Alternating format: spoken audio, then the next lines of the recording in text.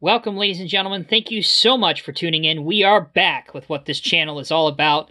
The bread and butter of this channel, Diecast Masters Caterpillar products. Today, I'm showing you the latest addition to the Diecast Masters Caterpillar Core Classics lineup. Disregard the little typo that's on the outer shipping box. This is the 1 to 50 scale CAT 365 BL Series 2 hydraulic excavator in 1 to 50 scale. For reference and for your information, the item number is 85058C. Of course, the C at the end of the item number always designates this is a Core Classic Series model. So, a little bit of back information about this particular uh, scale model. Going way back, I'm talking about the late 90s. This model started life in the Norscot Caterpillar range, and uh, it was one of the first excavators that Norscot ever did in 150 scale. It stayed in their lineup the entire duration, and then uh, carried over into the Diecast Masters days. Uh, it even was a Norscot Core Classics, believe it or not, when they did the Core Classics, so it was always a very, very popular model but it was missing one thing that collectors always had an issue with, and that was the fact that it didn't come with metal tracks. Well, as Die-Cast Masters always does, they listen to you, the collector, and they heard your cries for amending the 365. And this version, I'm proud to tell you, and I'm about to show you, features a lot of updates, including the metal tracks. So let's go ahead and get this unboxed and take a look at it. So, all Core Classic Series models come in the brown outer shipping box. They do not come in the metal tin like the Highline Series models do. Let's go ahead and get this thing out of the box. This model also has a couple other goodies that are included with it, which I certainly hope to see becomes more of the norm rather than the exception going down the line. There is the packaging. You can see that once again we do have a little bit of a typo on the packaging, so hopefully that gets rectified for later runs of this model, but really in terms of it affecting the actual model, it's not a big deal at all. But in fact, it is the CAT 365 BL Series 2 excavator, not the 356. That's okay. We all can be a little dyslexic sometimes, definitely myself included. Once again, the item number is 85058C, Diecast Masters logo up on top on the back, you can see the real 365 working. Now, note, I know this is going to be an issue, so I will get the elephant out of the room right now. The 365, when it came out, was never offered in the trade dress or the paint scheme that you will see here. It was offered in uh, the pyramid logo that many people say, or the power stripe logo and not the Power Edge logo that came out in 2007, which is what's on this one. However, I have determined that if you are a collector, there's a way to get around this. Uh, when older cat equipment go for refurbishment and are often repurposed and put back into service, sometimes they are repainted, and I have actually seen pictures of a 365 that actually has this style graphic and paint scheme on it. So it is not out of the realm of possibility that you would not see a real 365 with this power scheme and this graphics and stuff on it. So do not let that detract you from buying this. And of course, if you have a whole lot more skill than I will ever have, if it really bothers you that much, you could always strip this model down and uh, repaint it and redecal it up in the correct error correct scheme.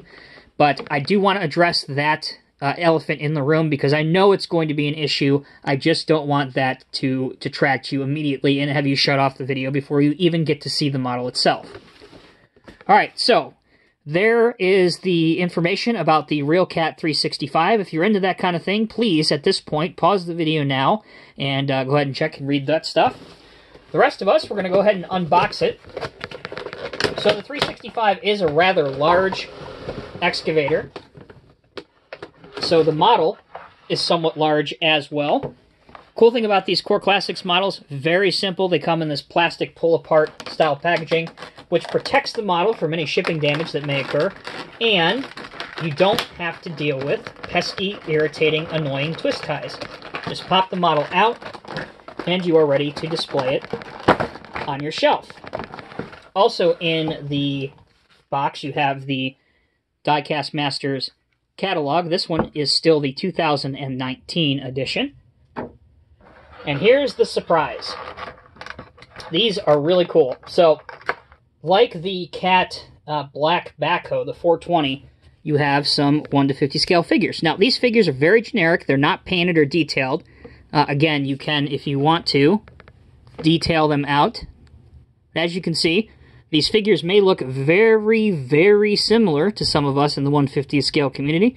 Uh, in fact, they're just not painted or detailed. This guy is uh, probably a supervisor on his uh, handy talkie or perhaps his cell phone, and he is pointing in the direction of where he wants something to go. So that is character A. You also get character B. And this guy is looking at plans for the job. It's very cool. I'm a big fan of this. Let me know if you guys uh, like this little addition. Just something extra, very cool that they included. Of course, they didn't have to do this at all, um, but I like this. And definitely those that are big into customizing and have the patience to paint and detail these out, certainly I expect to see uh, on Instagram and Facebook and in the collector community some really, really cool figures detailed out in uh, company vests and company colors. So, super cool to see those. Great job, Diecast Masters. Huge fan of those. All right, on to the actual model itself, what you all came here to see. So there it is. I uh, already addressed the paint scheme that it's in, so we don't need to talk about that any longer. Here's the wonderful metal tracks, which again, are great. And if I were to have these back in the late 90s, early 2000s when I had the Norscot version, I would have been thrilled. It would have been fantastic. You can see that the highlights with the piping and the hydraulic lines have all been redone as well from the Norscot version to give it a much more realistic fit and finish. Over here, your ladder and grab railings, those are now all in metal and much thinner and much more to scale. Over here, on your stick and boom, you can see that the uh, screws that hold everything together have now been painted so that they don't stand out too, too bad. Now, guys, remember, this is not a brand new casting or model. This thing has been out for the better part of tw uh, over 20 years. So you got to give it its due diligence there and give it a little bit of leeway. Um, again, the tracks are a brand new metal component. And if you look, they have the tie-down points and warning labels on them as well to give them some detail. I already showed you that they are linked and they will roll by hand or on any surface that has some friction. Let's get on to the functionality of the actual excavator to see how well that performs. You can see that it will go up to there, which is very respectable. Curl out to there, which leaves just a little bit of the piston exposed, not too much at all. For digging, we're going to go there, which again, not bad at all. Just a little bit of your cylinder being exposed here. And for curl in,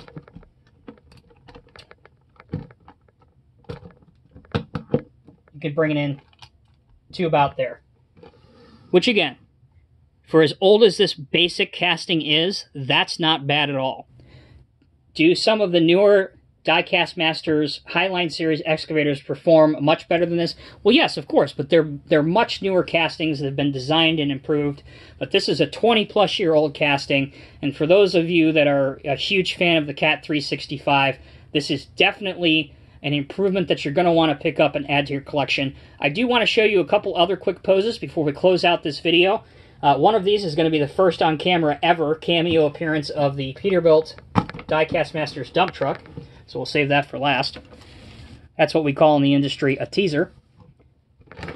Here is the Diecast Masters T800 Lowboy. Now I have this configured with one booster over here. I figured that would be a uh, pretty acceptable setup for an excavator of this size class. So we'll put him on here, make sure he's balanced, get him tucked in nice and tight, and put him on the lowboy. Also, the really good thing about this is that the cylinders are so, so stiff that they're going to hold any pose. So that's how it looks on there. Just barely fits on the wide extension lowboy set. Obviously, you're going to have a little bit of hang on either side because of the, the size of the machine, but still an impressive looking load. And last, but certainly not least, as promised, here is the brand new, soon to be released Diecast Masters Peterbilt dump truck in blue. And You will get a review on this coming up very, very shortly. So do not fret. And we'll see how both of these look on camera. There you go. They make a pretty convincing pose. So there you have it, collectors. That is a brief review of the brand new Diecast Masters Core Classic Series Caterpillar 365 BL. We've gone over the pluses and a couple of the minuses associated with this model. I gotta say, overall, it's definitely worth adding to any uh, cat collector's collection due to the enhancements that have been made to this 20 plus year old casting, so please bear that in mind. It's wonderful to see it with metal tracks, and I gotta say, I'm I'm a, I'm a stickler for for oldies, and I, I gotta say, as soon as they announced it coming out with metal tracks, I certainly could look past the uh, graphics that are used on this, especially since I have seen refurbished ones on the internet with this trade dress on it. So it's not out of the realm of possibility that you could see a real one looking exactly like this. You guys let me know down in the comment section below what you think.